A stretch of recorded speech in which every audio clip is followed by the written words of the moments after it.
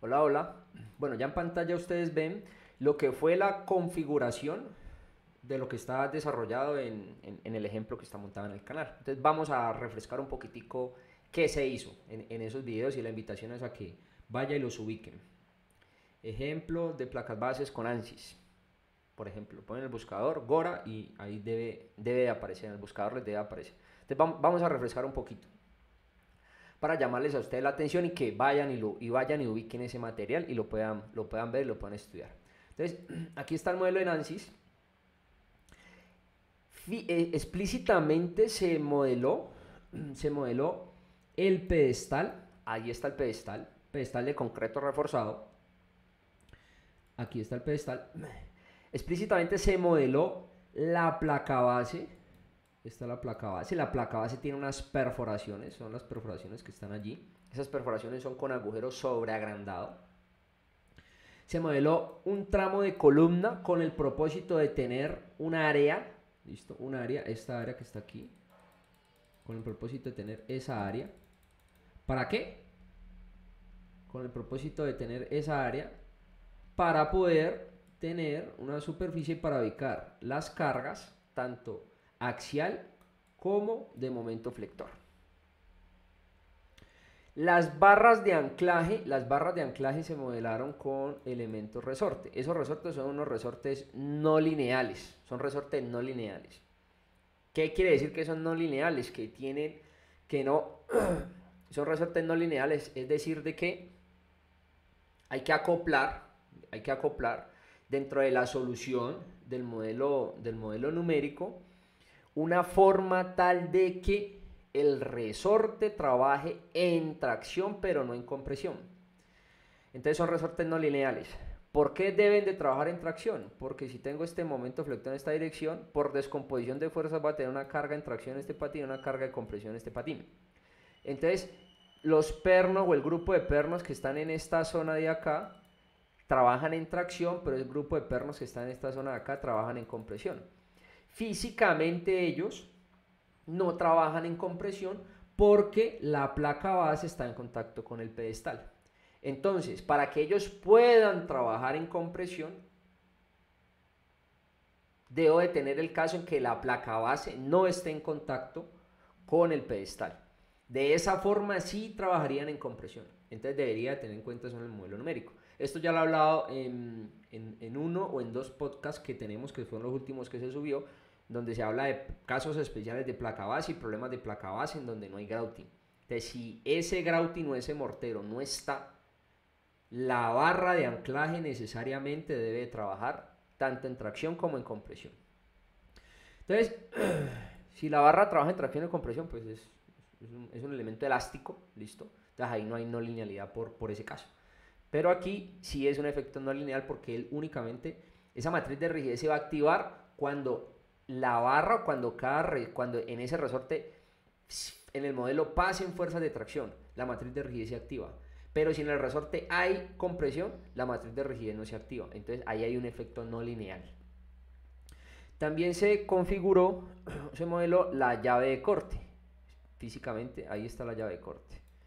Entonces, para modelar la llave de corte, pues tocó generarle un volumen negativo al, al concreto para que hubiese esa interacción de la interacción entre cada uno de estos elementos, los que son sólidos específicamente como lo de la placa base está modelado con elementos sólidos, el, tramo de, de, columna de acero está modelado como elementos sólidos, la llave de corte está modelado como elementos sólidos y el pedestal de concreto está modelado como elementos sólidos. Allí que tengo, tengo entre un cuerpo y otro van a haber contactos, entonces debo de configurar contactos, entonces debo de tener claro el tema de contactos. La rigidez entre un contacto y otro, qué tipo de contacto debo de setear o de configurar al momento que esté haciendo mi análisis con ANSYS, cuáles son las condiciones de borde, tanto mecánicas como cinemáticas, entre otras, otras, entre otras cosas. Eh, los efectos no lineales de material, claro está. Entonces, de esta forma, llegamos a unos resultados que se les comparte a ustedes dentro de los videos que están colgados, dentro de los videos que están colgados en, este canal. Ahora, ¿qué pasa? Ahora, ¿qué pasa? Veamos aquí, borremos aquí. Veamos aquí. Aquí está. Esta es la, la configuración de la no linealidad del material, los contactos, el tipo de, de rigidez, la malla, el estado de cargas, bueno, ¿qué se dice? Y ya se empiezan a, tocar temas de resultados. Ahora, ahora, ¿qué pasa? ¿Qué pasa? ¿Qué pasa? Tal como lo hablamos en la parte, en, los primeros minutos introductorios, podemos nosotros tener la necesidad, la necesidad, sea por hardware, listo, por hardware, o sea, mi recurso computacional, mi computador, mi laptop, tengo, no sé, tal vez dos procesadores, tengo, no sé. Por la necesidad de hardware, no tengo un computador que me ayude a resolver problemas numéricos muy complejos. Entonces, existe nosotros como ingenieros tenemos la capacidad de empezar a pensar para quitarle grados de libertad al problema. Es decir, cómo este que es un, un, buen modelo, modelo aceptable, tiene sus simplificaciones, claro está. Las barras pueden ser también elementos sólidos, las barras pueden ser elementos viga, las barras tienen una rosca, no hay tuercas. Bueno, ahí aquí hay unas simplificaciones, pero podemos, eh, llegamos a la conclusión de que el modelo es, es muy aceptable en términos de resultados. Ahora, si quiero quitarle grados de libertad al problema, este digamos que lo tenemos como número uno en complejo, entonces quiero pasar a un modelo más simple. Entonces quiero simplificar el problema. Entonces, para simplificar el problema, ¿qué podemos hacer? Para simplificar el problema, ¿qué podemos hacer? Entonces podemos decir, ah, bueno, listo. ¿Cómo? Empezamos a pensar, ¿cómo lo modelamos en, en SAP 2000? Ah, bueno, en SAP 2000 modelamos la placa base como elemento tipo placa, elemento shell. Entonces, la placa base como shell. Ah, el tramo de columna, ¿listo? La columna también fue elemento tipo shell. Perfecto. Eh, ¿Qué más? físicamente o explícitamente el pedestal no se modeló. En SAP 2000 existe la posibilidad de uno tener una serie de resortes que representan esa rigidez del pedestal, como con una ecuación que ya está, está en los videos, lo invito a que revisen. Con esa serie de resortes puedo configurar un análisis no lineal en SAP 2000 tal de que esos resortes, ¿listo? Participen cuando haya carga de compresión, pero no carga de tensión porque es claro de que esta placa base al momento de que esté girando alrededor de este eje, listo, haya un momento girando alrededor de este eje, eh, si este patín está en tracción, este patín está en compresión, pues va a haber una zona de la placa base que va a perder contacto físico con el pedestal, entonces se va a despegar, va a perder contacto. Y va a haber otra zona, que es esta zona que está en compresión, que va a tener contacto con el pedestal. Entonces una forma de simplificar el problema es generar eh, unos resortes, ¿listo? Numéricamente asignar unos resortes tal de que esos resortes se activen cuando esté en compresión, la placa base con el pedestal, ¿listo?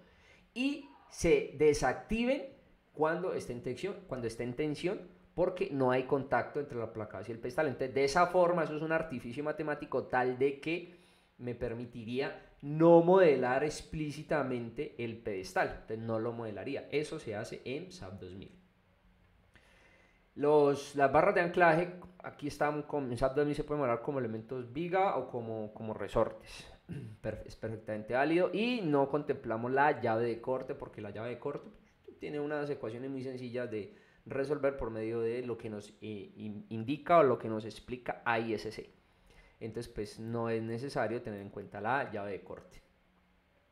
Entonces con eso claro, vamos a, vamos a, listo, con esto claro, borramos.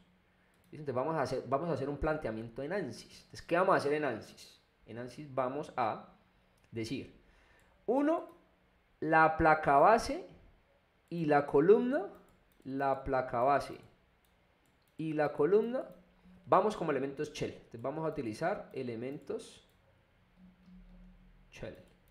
Vamos a utilizar elementos shell. Vamos a ver cómo, cómo configuramos el modelo, qué, qué, qué, tenemos que hacer para que, para que funcione y el modelo nos corra. Vamos a poner unas condiciones de orden. Aquí van a pasar algo, va, a pasar algo bien chévere. Vamos a configurar elementos shell. No vamos a modelar explícitamente el pedestal, sino que vamos a utilizar una función que tiene ANSYS que se llama Elastic Support.